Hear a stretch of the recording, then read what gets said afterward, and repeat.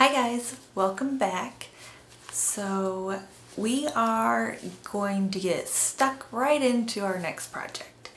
Uh, it, I've been really enjoying doing uh, the some cross stitching and it's a good time to binge shows on Netflix and what better way to pass the time than watching those shows and working through some of these projects.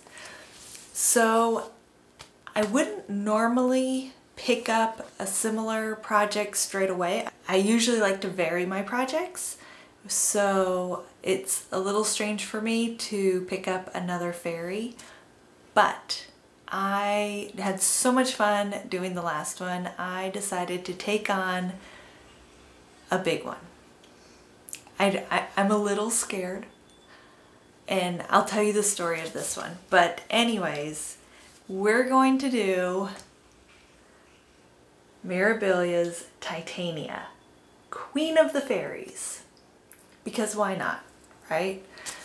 So she might be the biggest one I've ever done. She's definitely the biggest fairy. I don't know if she's the biggest cross stitch I've ever done, but certainly feels like the most intimidating one. Uh, her finished design area is 11 by 18. But as you know, with these, there's a lot of open space, you know, uh, that is not all stitched space. So uh, the story behind this project or this pattern in particular, I'm gonna share with you. Uh, I don't necessarily ha always have a lot of stories. Usually it's just um, maybe I saw the pattern on sale, one, two, three stitch, or you know, maybe I was traveling and stopped in at a cross stitch store and happened to find it. You know, a little bit of a story with those, I guess. This one is a special story. I have owned this pattern for probably 20 years. I'm trying to think. Yeah, I, I think it's been right on 20 years. I was living in Sydney, Australia, and my uh, husband now, then boyfriend's grandmother and I had gone shopping at the mall and there was a store called Lincraft. Uh, in fact, it still has, you can sort of see the Lin where they hung it. They, that's how it was hanging. Uh, anyways, we went in this Lincraft store and it was the first time I had ever seen any of these. I'd never seen Mirabilia. I lived in an area that didn't really have um, cross-stitch stores when I was growing up. We had like, you know, Joann's and Michael's. So I only had ever really seen Dimensions. And um, so anyways, I saw this and I thought she was absolutely beautiful. I'd never seen anything so pretty in my life. But it was a lot of money. I think, you know, it's marked out here. I don't know why it's crossed out, but I, I want to say it was like $55. And, you know, I was young, I was poor, all the money I had went into uh, traveling between the US and Australia and I just couldn't afford it. But she knew I loved cross stitching and so she bought it for me and I never had the confidence in my stitching to take it on. I always thought it was just too much, too big, too much. You know, like 11 by 18, that's a huge pattern, right? And I remember talking to um, someone, I'm trying to think where I even was. It was at a cross stitch store well after I moved back to the US and I mentioned that I had this and you know I never had taken it on. In fact it might have been where when I first started buying the little fairy kits and uh, they said oh you shouldn't be intimidated. All cross stitches are just one stitch at a time. Sounds great in theory, didn't seem realistic, but the more I've done and the bigger ones I've done, they're right. It's just one stitch at a time. Sometimes you have to do a hundred stitches and sometimes you have to do 2500 stitches or I don't know. I've never done a stitch count per se, but eh, you, you get what I'm saying. It doesn't matter how many stitches there are, you start with one and then you do the next one. And so anyways, after having just finished my first non-kit pixie and realizing it was not that intimidating and it was so much fun, I decided I'm gonna honor my Grandma Kay, well my husband's Grandma Kay, but I adopted her because she was the best. And I am finally, after 20 years, I'm gonna tackle her gracious gift for me. And uh, so that's what we have. Titania.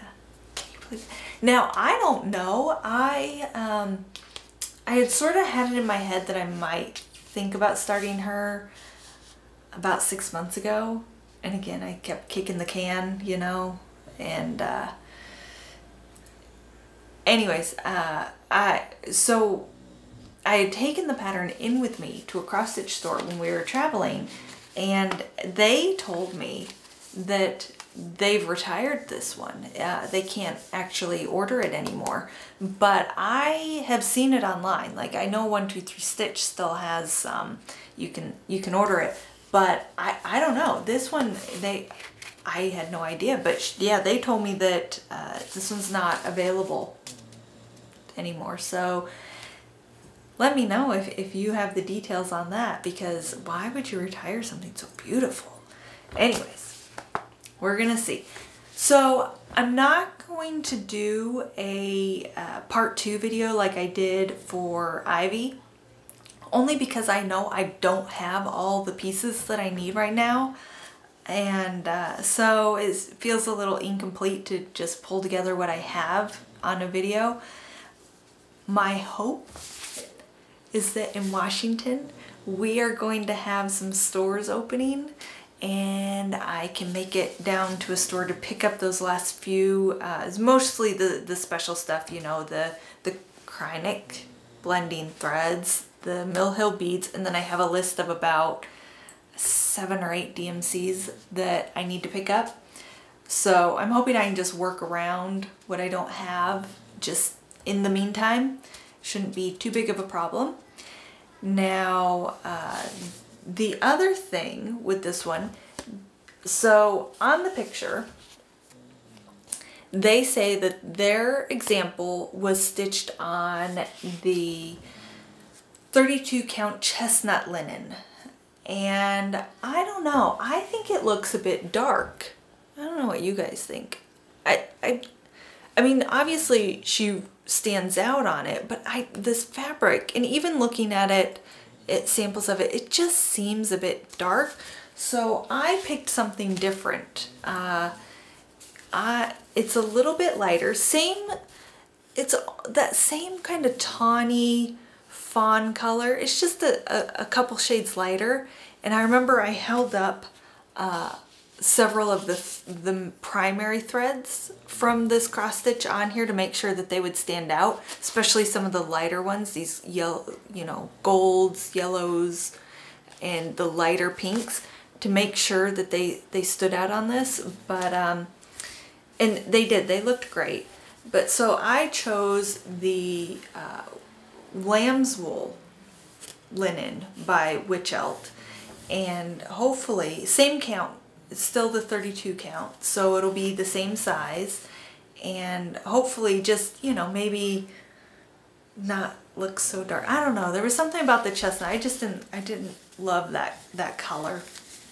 This is this feels more of a lighter fawn to me. Even the color on here is not showing up that great. But uh anyway, so that's the only change that I've I'm making, you know, I know there's this big thing where a lot of people are um, taking these fairies and they're changing out the colors. You know, they're using the pattern and then changing out the color schemes on them. Some of them are stunning. Uh, I, I can't remember, one of them uh, they did, I can't remember which pattern it was, but they changed out the colors for their school colors and it was the way they they edited it was more beautiful in my opinion than the original. And uh, but this one obviously uh, I'm I'm gonna stay uh, true to the the pattern here just changing out the the fabric. So and then uh, we'll get the extra bits hopefully later this week. I don't know how long she's gonna take. Um, let's have a look at the pattern real quick. It's you know pretty standard uh, for the Mirabilia.